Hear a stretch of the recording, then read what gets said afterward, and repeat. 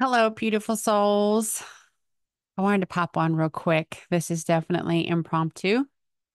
I just read a post, um, the beautiful Abraham Hicks, and this is what it says The best thing you can do for anyone that you love is be happy. And the very worst thing that you can do for anyone that you love is being unhappy and then asking them to change it. When there is absolutely nothing that anyone else can do to make you happy. And I wanted to speak about that for a minute because using myself as an example, in the 90s, 94 to be exact, my husband was killed in a in a car accident. I mean, in a skydiving accident, and I donated his organs. And in that tragedy, um, five lives were saved, and it was beyond words for a 21 year old to navigate that world and know what to expect. I mean, who does, right? You just do the very best you can. But I was angry. I did not understand. I I didn't know why that had to happen. And there were people that came up to me that were wise and had lived much longer in this live stream. And they said things like, you have to just choose to be happy. You have to choose happiness. And I thought, get out of my fucking face. Do you feel like that right now? Do you feel like all these dumpster fires all around us are making it impossible for you to be happy? It's not exactly true, but it is a choice. And you can choose to be happy. There are things in your life that you can choose to be happy about. You can choose to focus on that versus what's around us and what's outside of us, right? And it, it is my opinion that things escalate around you in your vortex to push you further inside yourself to discover the truth, the love, the compassion is all within you. So if you are desperately seeking love, acceptance, compassion, kindness, empathy, healing, I want you to pull all that expectation into your being because that's where it is. And when you give yourself love, compassion, acceptance, kindness, empathy, and healing, you become the best the best version of you. And you do the entire world a favor.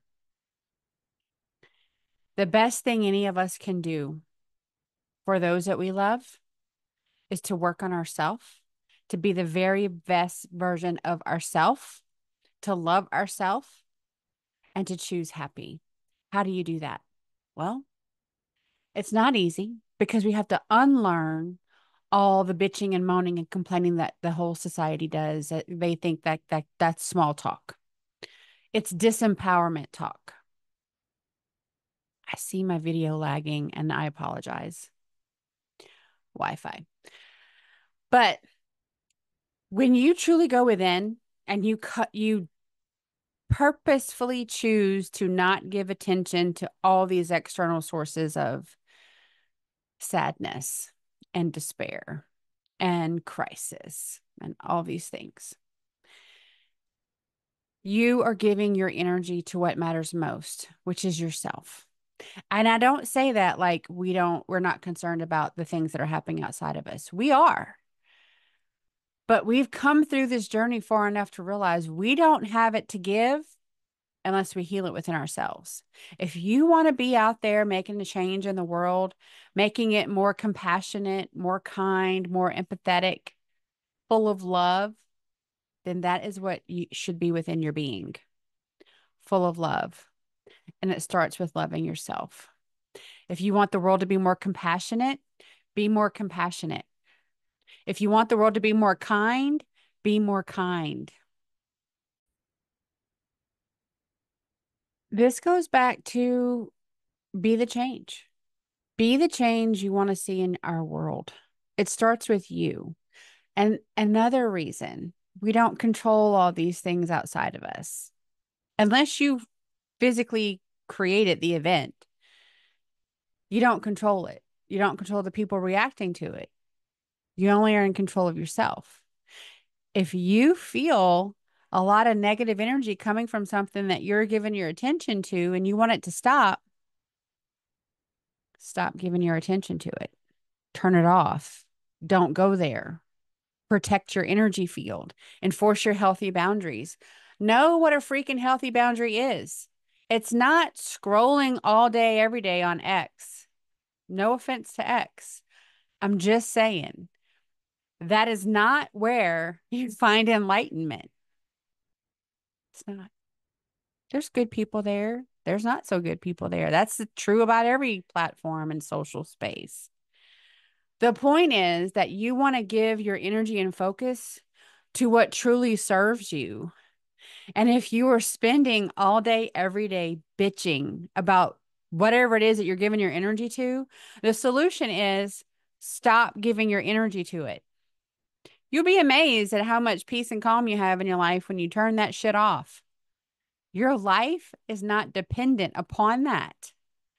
However, the trajectory and navigation of your soul path is dependent on whether you complete, completely ignore yourself still continually or you wake up and you start to go within where all of your truth lives.